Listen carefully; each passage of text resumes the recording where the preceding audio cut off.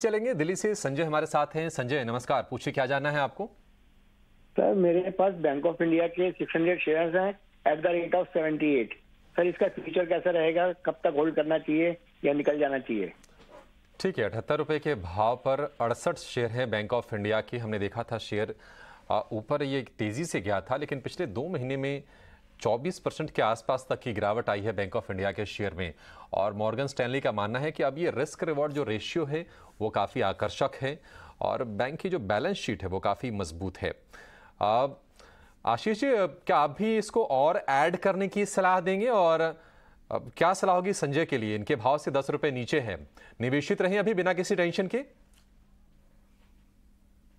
जी, मेरी सलाह रहेगी बिल्कुल निवेशित बने रहने की और इनफैक्ट आप थोड़ा इस लेवल पे एवरेज भी कर सकते हैं क्योंकि जो market price to book value है अभी भी 0.5 पर मिल रहा है क्योंकि 130 रुपए के आसपास बुक वैल्यू और अभी भी सड़सठ अड़सठ के आसपास स्टॉक मिलता है और ये जो ज़्यादा गिरावट हमने देखा पीएसयू बैंकिंग स्टॉक में अडानी फियास्को के चलते हुए ज़्यादा गिरावट देखने को मिली पर फंडामेंटली कहीं कोई प्रॉब्लम मुझे नज़र नहीं आती और इसके अलावा जब इंटरेस्ट रेट साइकिल बढ़ता है तो मेरा मानना है कि बैंक की अर्निंग कहीं ज़्यादा बढ़ती है, क्योंकि जो डिपॉजिट का जो ग्रोथ है डिपॉजिट का जो इंटरेस्ट पेमेंट है वो इतना नहीं बढ़ता जितना वो लेंडिंग रेट बढ़ जाते हैं।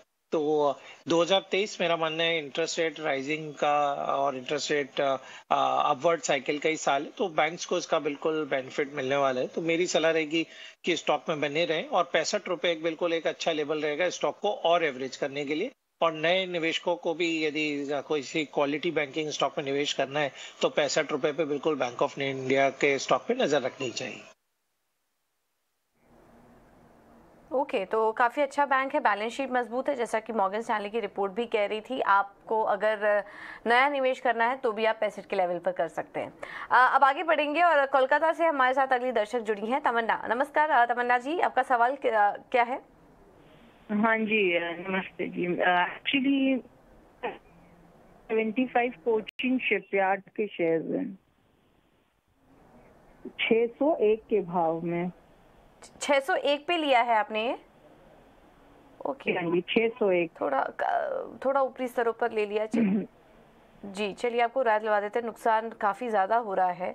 करीब करीब चालीस हज़ार का नुकसान इस स्टॉक में इनको हो रहा है। कुणाल आपसे सवाल होगा कोचिंग शिपयार्ड गिरावट पर इन्होंने एंट्री लेने की कोशिश की क्योंकि हमने तो स्टॉक को छः सौ साढ़े छः सौ के ऊपर भी जाते हुए देखा है।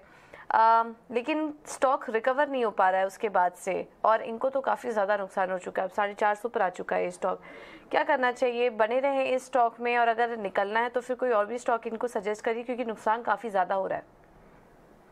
सो पूजा अगर हम ओवरऑल फॉर्मेशन की बात करते हैं तो इस काउंटर में हमने बहुत ही अच्छी रुझान तो देखी थी बट ये रुझान के बाद ये काउंटर में करेक्शन भी बहुत ही शार्प आ गया।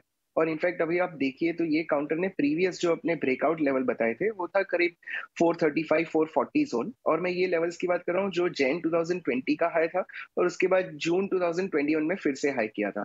एज ऑफ़ नाउ काउंटर उसी के नज़दीक पहुँच रहा है। एज ऑफ़ नाउ कोई बॉटम फॉर्मेशन की साइंस तो किसी भी चार्ट पे नहीं दिख रही है।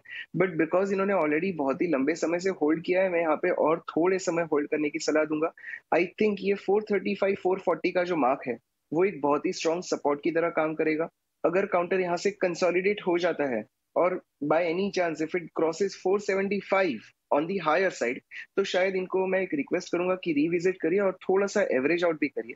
बट फॉर टाइम बिंग इस काउंटर में बने रहे। आई थिंक 440 का एक अच्छा सा सपोर्ट है, उसी को ध्यान में रखते हुए बने रहने की सलाह। ठीक है, चार रुपए के स्टॉप लॉस के साथ कोचिंग शिपयार्ड में कुणाल की बने रहने की सलाह है।